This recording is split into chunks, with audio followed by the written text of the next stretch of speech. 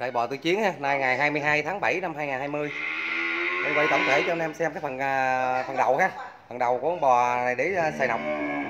Đó xài đi phối giống ha. Phần đầu nó trôi lũi không sừng em nè. Đầu rất là to, mỏ rè ha. Phần kim vai, cổ rô ha, phần kim vai rất là hở.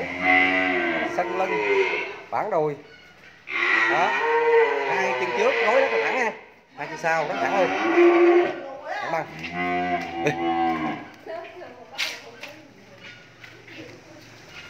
Đó bò hình rất thẳng rồi nè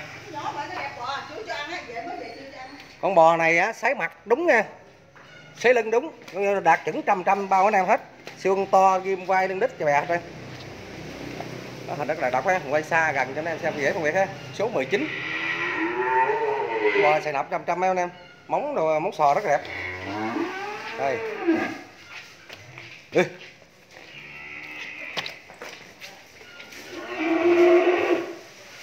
ghim vai phần đầu đó đây phần dậu cu thế. Phần súng nó rất là to dài á. Trong về phía trước rất hay. Thẳng về phía trước nè. Phần súng nó cho trong về phía trước rất thẳng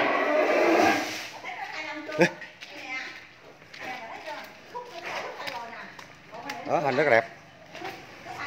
Đạt chuẩn trăm trăm luôn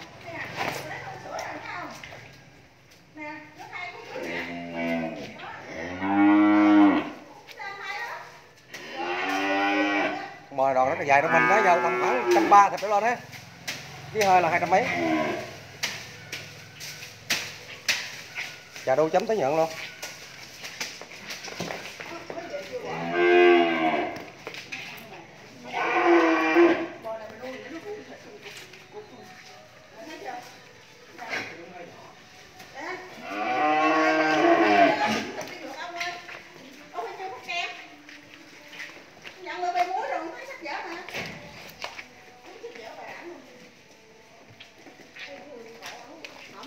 Ừ.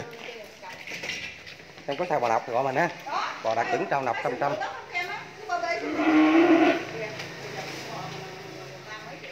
Giò trắng cái trắng ra không nè lưng đít và bè đây giò nó thẳng bò đọc nó khó lắm. Là ghim vai. Lưng đít, chân cẳng nó đạp toàn diện trên là con bò này đạt chuẩn trăm trăm ha. Hai giấy rất là đều ha. Súng ra trong thì phải rất là súng to ha. Rất là hay. Đạt chuẩn trăm trăm.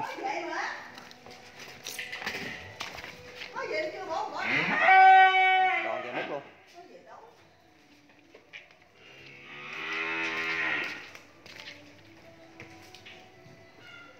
đòn rất là dài ha. Thẳng bằng